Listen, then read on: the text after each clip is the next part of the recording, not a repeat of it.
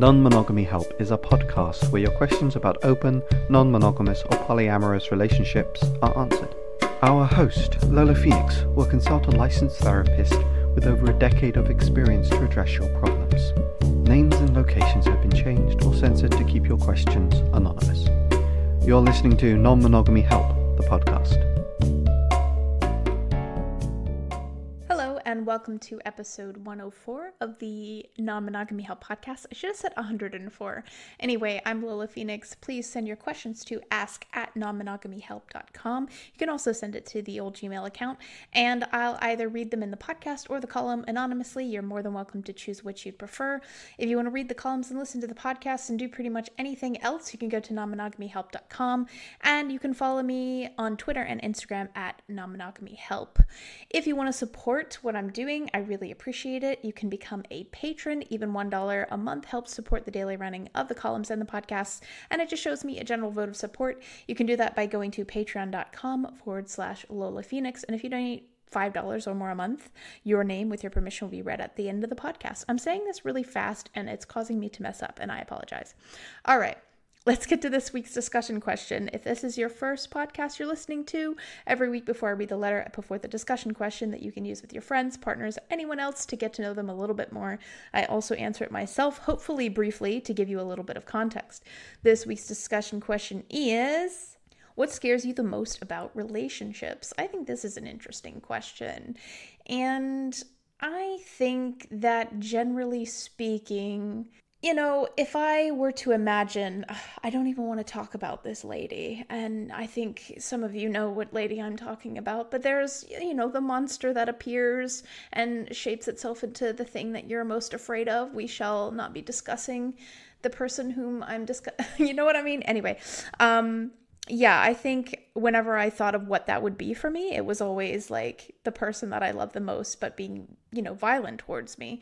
And I think that that's always something that has scared me for a long time that, you know, somebody could pretend to be somebody else and suddenly turn violent. When I read some statistics about domestic violence and about how some, I can't remember the percentage, and to be honest, I don't want to remember the percentage, but there is a percentage of violent people that turn violent when you get pregnant. And yeah, so uh, that kind of is the thing that scares me the most is that someone could, or like you could be married to someone for a long time and you're like in your 80s and you're going through like some stuff in the attic and you happen upon Nazi paraphernalia or something. Like that's the thing that scares me, which I guess is an unlikely thing, but yeah, just the idea that the person that you are with is not who they say they are in a really, really horrible way. So, yeah, uh, let me repeat the discussion question for me What scares you the most about relationships? Let's get to this week's letter.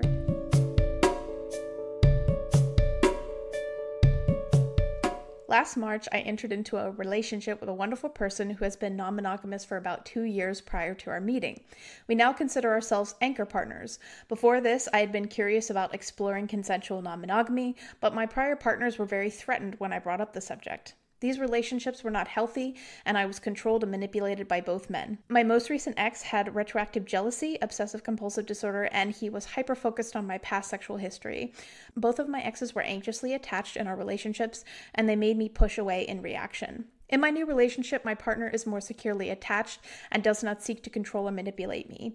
Even though our communication is very strong and we are working hard to build a trusting and secure bond, I have been struggling with what I now have come to realize is most likely quote unquote primal panic and not just jealousy and anxiety. I was rereading Polysecure the other day after my most recent meltdown when my partner had a date night, and I came across the term primal panic, which perfectly described what I'm experiencing when my partner goes on dates. This is a part in the letter where the letter writer puts in what I think is an excerpt from the book Polysecure on the definition of primal panic, which I'm just going to skip because I'm worried about copyright issues, but you could probably check it out in the book. Here's the letter continuing. I'm a therapist and I've been trying to use somatic techniques focused on my vagus nerve to help calm myself down when my partner goes on dates. But so far, once it gets late into the night, I spiral into this hole of anxiety and panic that lasts sometimes days after the date. Logically, I know that I have consented to my partner going on the date, and it is with someone who he's been seeing since before we got together, who he sees only once a month or so, but physiologically, my body goes into flooded panic. Even when my partner messages me before and after his date, it does not seem to quell my panic. I have only gone on one date with another person since entering into this relationship, and while I am curious to see if going on more dates might help with my primal panic, I also do not want to use that as a crutch. I want to keep exploring non monogamy with my partner, and my partner is incredibly supportive of me and willing to help me work through my anxiety, but I don't know how much longer I can handle the extreme emotional states that arise when he goes on dates.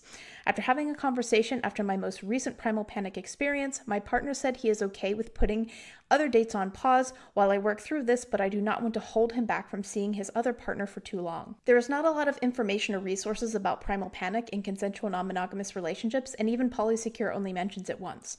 I really appreciate your podcast and advice column, and I found your book to be very helpful, so I figured you might be a good person to ask. If you have any advice on how to deal with primal panic, it would be very much appreciated.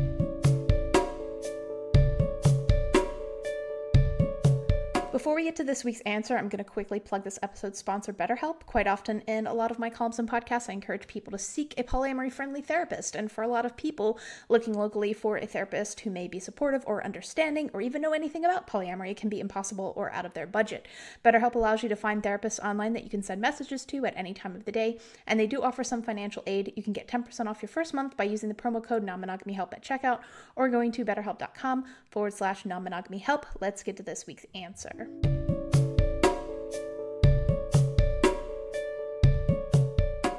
Okay, first and foremost, I have like a confession to make. I really hate attachment styles, personally. And I know that they're useful for people and it's it's not for me to tell you what's useful and what's not useful for you. Personally, my problem with attachment styles is this. I think that if you want a good encapsulation of someone who kind of, how do I put this? It's not so much that I think that they are total trash, it's just I feel like they are labels that people use for themselves that applied to situations when they were children that are no longer the case as adults. And I think that sometimes that labeling is often worse for people than it actually is helpful. Todd Baratz um, on Instagram, who is Your Diagnonsense on Instagram. Todd Baratz is a therapist. He talks a lot about the problem with attachment styles. It's not necessarily that attachment styles in and of themselves are bad things, but I feel like people overly rely on attachment styles to the point where it becomes unhelpful. What really demonstrates why it's unhelpful for me personally is um, the study that was done in 2011 i believe and there may be better studies and i totally am not a nutrition expert so if you are and you want to say actually this study is bullshit please feel free to let me know but it was a study i read about uh, milkshakes. There was a milkshake that they gave two groups of people for one group of people, they said that this is a 620 calorie indulgent shake. And then for the other group of people, they said this is a 140 calorie sensible shake. And what they did is, after they gave these people the shake, and I think before, during, and after, three times they measured a hunger hormone called ghrelin, which is supposed to, you know, make you feel hungry. And they noticed that for the people who consumed the shake that they were told was indulgent. It was the same shake, by the way, if that wasn't already obvious. For the people who believed that they had consumed this indulgent shake, they had a dramatically steeper decline in ghrelin, the hunger hormone, after consuming the shake. Whereas if somebody thought that they consumed something that was quote unquote sensible, they had kind of a flat ghrelin response, which is very interesting. And I think that mindset is a huge deal. I think that mindset has a lot to do. If you ask any athlete, and I'm not saying I'm like a super athlete, but I do lift weights and I do strongman training. If I tell myself before a lift that I can't do it, that is not going to help me. And I would never do that. And almost any coach, any athletic anything, if you ask them, oh, should you tell yourself that you can't? No, you should not tell yourself. So, what I feel like attachment theory does to some people is I feel like they tell themselves that they're anxiously attached. They label themselves. And what I've noticed throughout your letter is that you kind of have a very black and white way of looking at things. And and and I'm not saying that you're wrong about the way that you're looking at your previous relationships, but if you kind of look at it, you kind of have like this is bad stuff. Everything was bad about this. Everything's bad then, and now you're kind of supposed to be in your good stride, right? And I think that that is painting you into a corner because right now you are first of all, you're six months into a new relationship, which is going to make anybody anxious. New relationships make people anxious for very understandable reasons. Secondly, is that you also said that your anchor partners, which in my opinion is somewhat of a hierarchy, which I'm not judging you for, and I'm not saying it's a bad thing.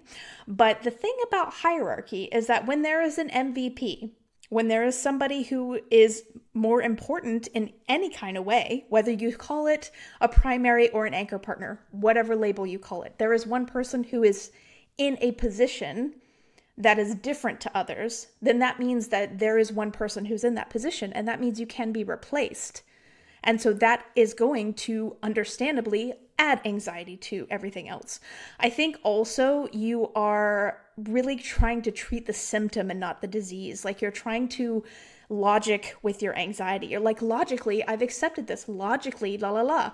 But you're kind of, and, and I did this as well when I had really severe anxiety, is that I tried, if I didn't try to appease the anxiety by giving it what it wants, which is kind of like what your partner is suggesting by not going on dates. And I also don't agree that that's a good idea because the more you give anxiety an inch and it takes a mile. Also, if you try and reason with your anxiety trust me when I think I can say, and anyone who has anxiety can say, your anxiety can outreason the shit out of you. And there's a good reason for that because your anxiety is a survival response. I don't like proposing this as anxious attachment there's something that Todd Baratz says that I really agree with, which is that adult relationships are inherently going to be insecure because it, you're not a child anymore. The reason why attachment and anxious attachment and all that other stuff was bad when you were a child is because you relied on your caregivers to keep you alive. You do not rely on your partner to keep you alive. So that attachment is going to be insecure, like it is. That's just how it is. No matter how quote unquote secure it feels, adults can and should leave relationships that don't serve them.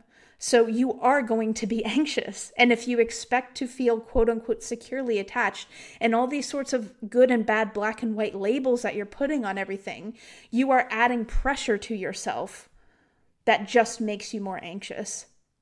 Your brain is trying to keep you alive. You grew up, most likely, and if you haven't, then I apologize, but most of us grew up in a mo- monogamous centric society. Most of us grew up in a society that has told us since we were very, very young that monogamy is the thing that you should want.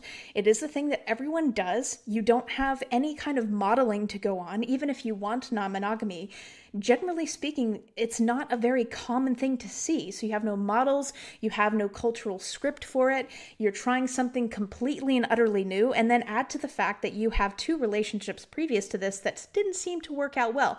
I tend to try and avoid to paint things in such black and white terms. I'm not saying that the people that you were with were great to be with or helpful, but I do think that this kind of labeling of them, you know, this like, oh, he has OCD, oh, he's this attached, oh, he's blah, blah, blah.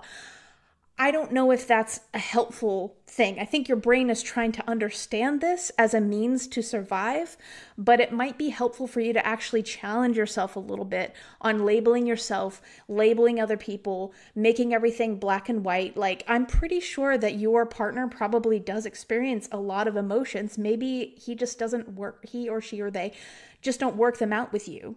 That doesn't mean that they don't have them. So you kind of labeling this as like, oh, this person is securely attached, and I'm not securely attached because I have feelings. Like, I just think this is making it so much worse. And it makes total sense for you to be afraid. It makes total sense for you to be anxious. And then added to the fact that I feel like you trying to constantly ground yourself I mean, I'm not there. I don't know what's going on in your head, so it's hard for me to say. But for me, it doesn't feel like you're actually trying to be in your feelings. It's, it seems like you're trying to ground yourself away from them. Seems like you're trying to get away from the feelings, get away from them. No, I don't want these feelings. It means I'm not securely attached, blah, blah, blah. I, I don't feel like you're in your feelings. So you keep running from them and they keep chasing you because your brain is like, I don't know what to do. I have been told my whole life that this is how relationships are, and now this is different. And we've also had some bad experiences. I want to protect you from pain. And that's what your brain is doing. It's trying to protect you from pain. This isn't primal panic. I mean, I don't even know enough about what primal panic is supposed to be to necessarily say whether or not it's a good definition. But I think that this is, and all of our emotions are uh, useful information for us to have and sometimes designed to keep us safe. They don't always keep us safe because we are living very different lives now than our ancestors and the you know our emotions and our the way our body responds our physiological responses have been evolving over a long long period and of pretty much a very different lifestyle than what we live now it's not even about monogamy or polyamory anymore so you know this is about having a completely different nervous system response and needing that nervous system response to survive. And by the way, I'm not saying that no other humans today kind of live in a life or death situation, but what I'm saying is that you have all of this inbuilt survival physiology that your body is going to remember and respond with. And of course, you're having these big panic episodes. Why wouldn't you? Why wouldn't you have them? That makes you, you you're trying to logic out of anxiety instead of logic into anxiety and understanding anxiety and why it's happening to you.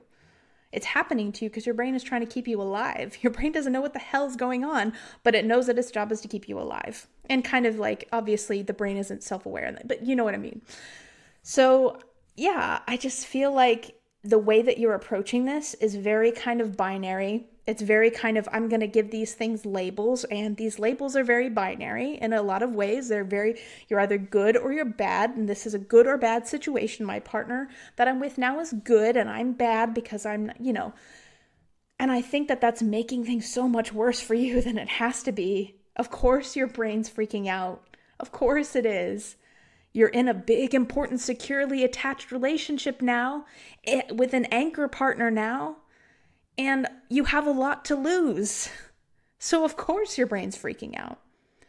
So, I feel like maybe kind of rethink your approach to this, rethink your approach to labeling things, rethink your approach to yourself. Can you like step away from this kind of inclination to label and practice some acceptance of your feelings? and understanding and just welcoming them in a weird way, which I know feels weird, like as a person who's had anxiety for most of their life, who pretty much like I, my anxiety is almost non existent now. And I think a big part of that comes from the fact that I mean, I feel like I had like to be honest, I had like an I know what you did last summer moment where I was just like, fine, come kill me then. Kill me then because I had, you know, really bad health anxiety. But I think that part of it comes from acceptance. Part of it comes from going, okay, this is my fear. I have this because a big part of what made my anxiety worse for so many years was seeing myself as like a Sisyphus and seeing myself as like pushing this I'm pushing this thing. I'm always working towards never having a panic attack. That's my goal and that's means success. And if I have a panic attack that means the thing is rolling down and now I have to push it up again. That mind frame made things so much worse so much worse. And when I just said you know what? I have panic attacks and that doesn't mean i'm a failure. Doesn't make me a bad person. Doesn't mean that i i've that you know i'm not managing my anxiety correctly. It's just something that's happening to me. And there are a lot of reasons why it's happening to me. Understanding nervous system response and all of that. Like there's a great account on instagram called repairing the nervous system. Definitely check that out. Like understanding my anxiety through the lens of survival was really really helpful for me. I never really related to any of the attachment stuff. So that that's just my personal perspective. Attachment theory helps people. It can be a useful tool. It's not been a very useful tool for me personally. So I would recommend maybe stepping away from that. So yeah.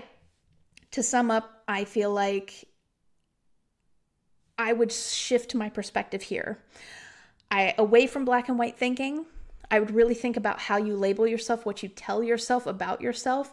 Think about the labels you're giving to both past relationships and current relationships. see if you can practice acceptance of your feelings and looking your fear in the face instead of just trying to like ground yourself, like push it away from yourself, like purge. You're not going to purge your emotions like a Vulcan. Like that's not going to happen. You're going to have feelings, and those feelings feel really terrible, but they you have gone through this before. You've gone through quote unquote primal panic before, and you got through it just fine.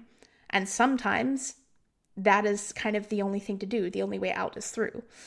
But I think breaking the binary way of thinking and really think about how you're labeling things might make that worse, make what you're going through worse because when you're going through this panic, you're kind of, it seems like you're kind of constantly telling yourself, like, I'm insecurely attached, I'm bad, I'm this, I'm that, I'm that, you know, like that is making it a lot worse than if you can just accept it, let it, let it go, let it have its time in the, in the sun, allow your brain to have a little bit of a, of a panic and go, oh my God, and then be there for it at the end because you will get to the end. It will be okay. But you have to kind of go through that in order to see that after a period of time and give yourself a break. You're six months, around six months into this new relationship, and you've also had some like not so great experiences.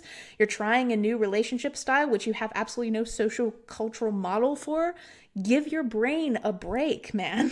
give yourself a break. And yeah, I think overall, if you kind of step away from a binary way of thinking, accept your anxiety, and try not to escape the feeling or reason with it, then I think that that will probably help. You may find as you go along that maybe this isn't the best thing for you for other reasons. Who knows? I can't tell you if this panic is because non monogamy is not for you.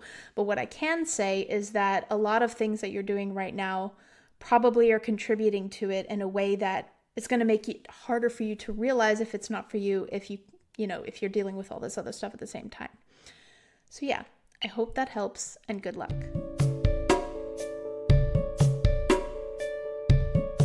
Thank you for listening to episode 104 of Non Monogamy Help. If you want to be awesome, you can donate to my Patreon. Uh, I would love that. It would be really, really helpful. Like even $1 a month or whatever currency you have per month. I forget how all of that works. But anyway, that helps. And it's just like a little thing that says, oh, I support you, which is nice. And if you donate $5 or your equivalent currency more or, or more a month and you consent to it because it's not automatic, by the way. So if you don't want your name read on the podcast, that's totally fine. But if you do and you say yes, then you can be here with all the other people. This week's current patrons are Laura Boylan, Chris Albery Jones, Juke, Nikki Jones, James Wartell, Leo Yaki, Tyler Tigno, and Justin Calm. If for whatever reason you can't become a patron, because I absolutely understand there's a cost of living crisis, it sucks. That's absolutely fine. What you can do is take five minutes, log into iTunes, find the podcast, rate and review it. Also, you can apparently rate it on Spotify in some countries, but not in my country. Boo. Anyway, if you could rate and review it, that would be really, really helpful to me. It just helps me get the podcast up there and some of the ratings. If you don't want to write a review, that's fine. You can just do a rating. Yeah, if you have five minutes to spare, please do that if you can. That's all for this week. You will get a new column next Friday and another podcast episode in a fortnight. Thank you again for listening. You've been listening to Non Monogamy Help. The music was done by Chris Albery Jones at albery-jones.com. Our podcast art was done by Dom Duong, and you can find Dom at dom, D-O-M, D-U-O-N-G.com. Thank you for listening.